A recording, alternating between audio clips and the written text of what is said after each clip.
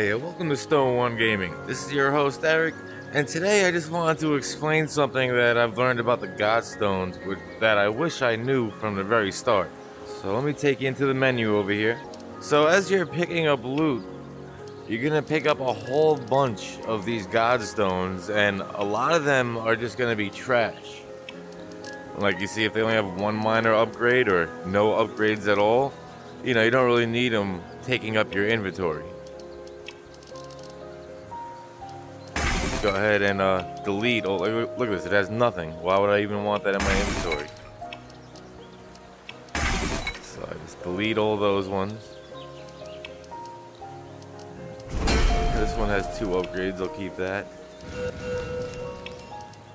Let's see. That way, you keep using the same Godstone and getting experience on the same Godstone. That way you can get it up. Like you see this one here is level 6. And so every now and then you just want to go through your entire inventory, throwing out any trash you might have picked up, and upgrading the ones you can. Like these are the best ones that have major upgrades and minor upgrades. There are other ones that even have three minor upgrades. Alright, and I want to stay on my level 6, so make sure I click on this one last so it comes up on here. See if I leave it on one of the other ones, then you see that's the Godstone I'm using. Blazing Barrier, see I picked up one garbage one. Also, this little scroll bar is a little glitched out.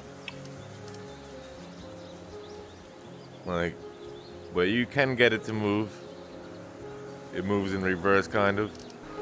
And your Godstones can only level up as many points as uh, the level they have.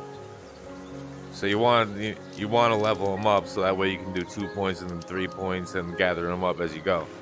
So my goal here is to only have high level Godstones in my inventory so I know no matter what, I'm only using the highest possible level Godstones and inflicting the most damage or getting benefits like health boosts or AP boosts. And that's pretty much it. That That is what I wish I knew when I had started Zenith. Well, if you found this video helpful, feel free to like and subscribe down below for more content like this. This is your host Eric with Stoned One Gaming, signing off, and I'll see you in the next video.